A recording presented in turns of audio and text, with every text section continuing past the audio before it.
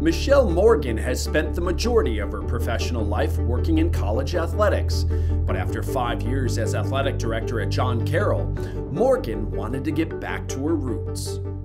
The opportunity to be the commissioner of Atlantic Hockey and College Hockey America was really something that I couldn't pass up.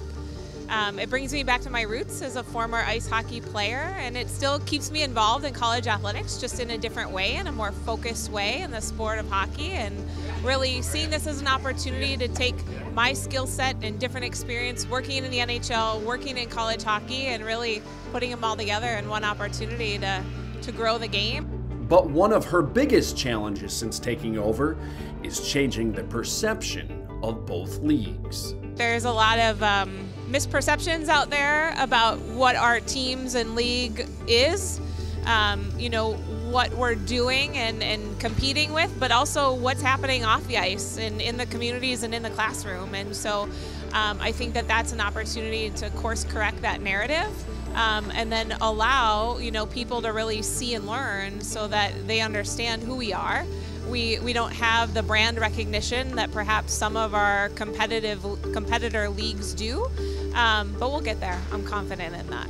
A conference rebrand is already in the works, as the men's and women's leagues will merge into one next season. Two separate you know organizations of teams and operation can be a challenge right? And so we weren't really working as smart as we could be in, in some regards. So i think that this opportunity we're working with a with a partner firm that really is an expert in this that has worked with uh, college uh, entities organizations conferences to go through a rebrand but really understand the essence of the history and the story to then best encapsulate who we are and, and who we're going to be going forward. The new league will be expanding too. Just last month, Delaware announced its women's program will join the conference in 2025. As for adding new men's programs, that's actively being explored too. On the women's side, with six teams, soon to be seven, we really have to be conscious of our numbers and we can't let that AQ be at risk right? And so, how are we doing that? We're the smallest conference uh, in numbers right now. And so, but I, I'm looking to not just add to add, right? We need to make sure that the institution is a good fit for, for our organization and the teams that make up um, our conference, and so that we're adding value in, in ways other than just saying, hey, let's just add to add a team. Our geographic footprint, especially on the men's side, is quite quite large. Um, we, we span so many states and three time zones that it can be a challenge at time with, uh, with travel and that student athlete experience or missed class time.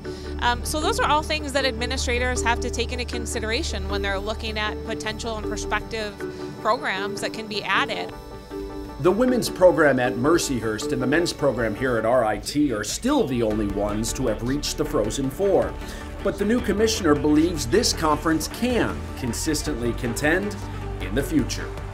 But there's a lot of parity in our league, and there's a lot of parity in college hockey, right? That any given night a puck bounces one way, or one team's battling injuries, or you don't know what's going to happen right? It's it's a game of odds in some ways, and so that's part of the reason why we come and we play the game and we engage in what we do because we both start the game, you know, first first face off anything can happen. And so I think that absolutely, without question in my mind, right? We may have some uphill battles to get to that point or to be there a little bit more regularly, but there's no question in my mind that a team from College Hockey America or Atlantic Hockey can make it that far and be crowned a, a, a champion